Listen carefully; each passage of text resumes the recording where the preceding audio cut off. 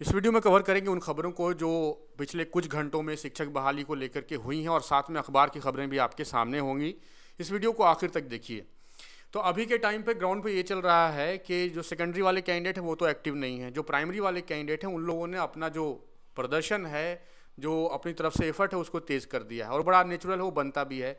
जब लास्ट नियमावली जो है, वो लास्ट कैबिनेट की बैठक में अप्रूव नहीं हुई तो अब तो और ज़्यादा मुसीबत खड़ी हो गई है तो अब जो प्राइमरी वाले कैंडिडेट हैं, उन लोगों ने बहुत सारे जो एमएलए हैं, उनसे मिलना शुरू कर दिया है और अपनी मांग को और पुरजोर तरीके से रखना शुरू कर दिया। जैसा कि आप देख रहे हैं कि जहाँ कहीं भी इलेक्शन की रैली हो रही है, एक विधानसभा क्षेत्र में जो इलेक्शन हो रहा है, वहाँ भी लोग अपना प्ले कार्ड लेकर के पहुँच जा रहे हैं। वहाँ भी इसी मांग को रखा जा रहा है कि सातवें फ़ेज़ की बहाली जल्दी जल्दी शुरू की जाए। और परेशानी को समझा जा सकता है कि जो कैंडिडेट इतने टाइम से स्ट्रगल कर रहे हैं इस बहाली को लेकर के, उनकी परेशानी को समझा जा सकता है। दूसरी तरफ़ अगर बात करें तो विपक्ष के नेताओं ने भी बीपीएससी जो बहाली के लिए जो प्रोटेस्ट हो रहा है, वहाँ भी, और जो शिक्षक बहाली के लिए जो प्रोटेस्ट हो रहा है, वहाँ भी। और एक ही नेता पहुँच रहे हैं, और वो हैं विजय सिन्हा। आपकी स्क्रीन पर इनका फ़ोटो भी दिख रहा है। तो अब विपक्ष के यहाँ पर विपक्ष का ये दावा है कि ये ग्राउंड पर भी काम करेगा और जब अपकमिंग विंटर सेशन है विधानसभा में इस मुद्दे को उठाया जाएगा। पॉलिटिक्स की बातें अपनी जगह पर हैं। एक आम कैंडिडेट जो भी इस वीडियो को देख रहे हैं उनसे आ, मैं ये कहूँगा कि बाकी सब चीज़ें चलती रहेंगी लेकिन असल में क्या हो सकता है? असलियत को रियलाइज़ करना उसको समझना बेहद ज़रूरी है।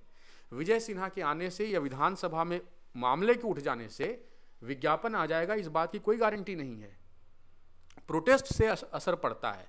लेकिन विपक्ष इस मुद्दे को उठाए और उसको उठाने से कुछ हो जाए इस बात का चांस बहुत कम है। प्रोटेस्ट का असर हो सकता है ये तो आप लोग बेहतर समझते हैं। जो भी कैंडिडेट अभी इस वीडियो को देख रहे हैं उनकी परेशानी समझी जा सकती है जो पहले से सीटेड बीटेड पास हैं।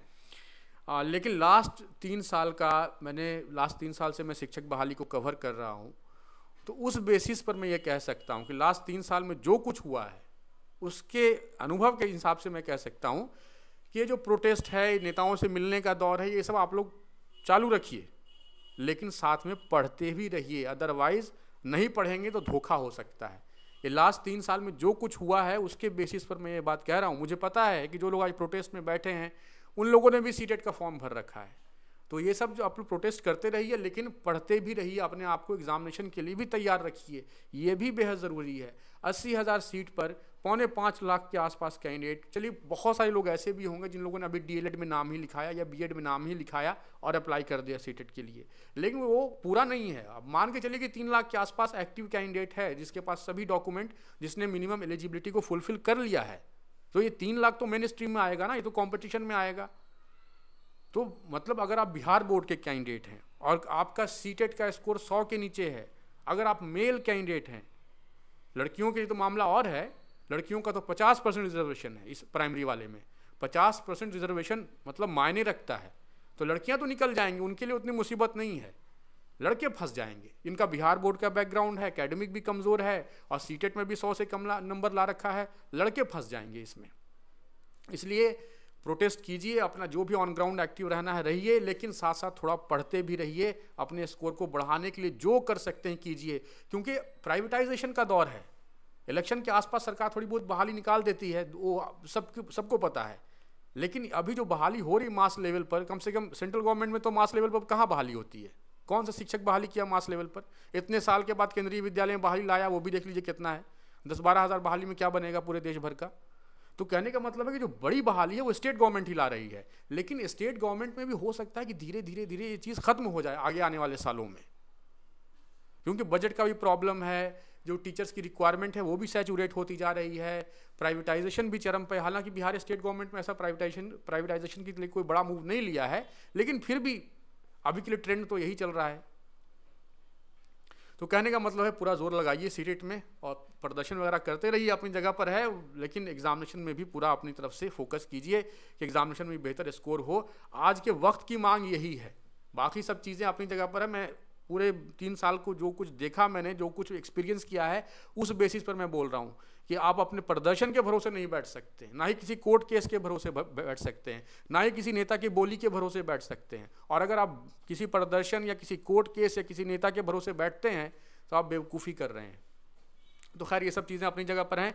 अब दूसरी खबर की तरफ़ चलते हैं। आपके स्क्रीन पर अभी देखिए नगर पालिका के चुनाव होने हैं 18 और 28 दिसंबर को।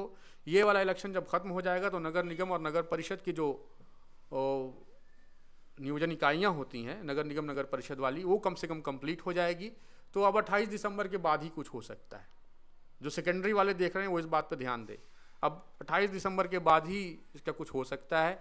आ, और इसके अलावा ये वाली ख़बर देखिए ये ख़बर कोई शिक्षक बहाली की खबर नहीं है लेकिन आप लोगों को याद होगा आज से कुछ महीने पहले ये वाले स्कूल की बात हुई थी कि पिछ, पिछड़ा वर्ग अति पिछड़ा वर्ग के लिए सरकार एक डेडिकेटेड स्कूल बनाएगी। हर ज़िले के अंदर इस तरह के स्कूल बनाने की बात थी और पता नहीं कैसे ऐसे मुझे तो मतलब यकीन भी नहीं हो रहा है कि बहुत सारे ज़िलों के अंदर फुल फ्लेज स्कूल सरकार ने तैयार भी कर लिया। पर ये सिर्फ़ पिछड़ा वर्ग और अति पिछड़ा वर्ग के लिए है और यहाँ पर जो फैसिलिटीज़ दे दी जा रही हैं, रहना फ्री खाना फ्री किताबें फ्री मतलब इसको आज के अखबार में आप चेक कीजिए, तमाम तरह के डिटेल्स उसमें लिख रखा है। तो ये स्कूल बन करके तैयार हो गए हैं और अगर किसी ने एडमिशन लेना है तो यहाँ पर ट्राई कर सकते हैं। अब इस खबर को मैं इसलिए कवर कर रहा हूँ कि सरकार ने अगर फुल फ्लेज स्कूल बनाया है तो इसके में टीचर की रिक्वायरमेंट भी होगी। यहाँ पर लाइब्रेरी यहाँ पर देखिए लाइब्रेरी की भी बात यहाँ पर की जा रही है कि स्टूडेंट्स को लाइब्रेरी का एक्सेस दिया जाएगा और साथ में कंप्यूटर लैब की भी बात की जा रही है। तो समझ जाइए, इशारा किधर की तरफ़ है। तो अभी के लिए ही सारी खबरें हैं। आगे कोई भी अपडेट आता है साथ में फ़ीस की शिक्षक बहाली से संबंधित तो मैं आप तक जल्दी जल्दी पहुँचाने की कोशिश करूँगा। Thank you